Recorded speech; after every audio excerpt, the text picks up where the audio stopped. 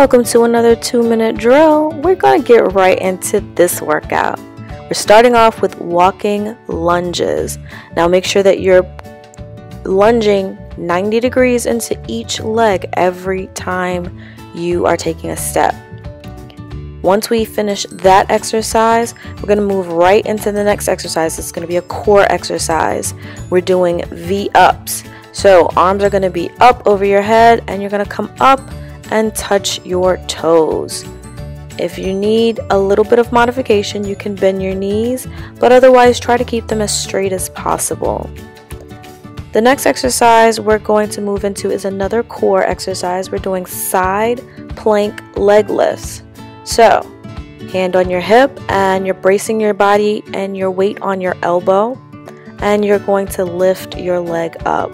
And you'll just switch sides after you complete all of the reps. Next exercise we're moving to is push-ups. Now, there are different variations of push-ups, so try to keep for this one, keep your elbows as close to your body as possible. This really gives you a good tricep and bicep workout.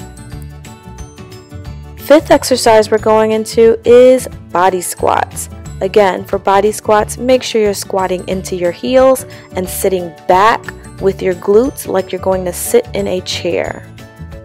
And then the last exercise we're going to be doing is going to be burpees. Everybody loves burpees, right?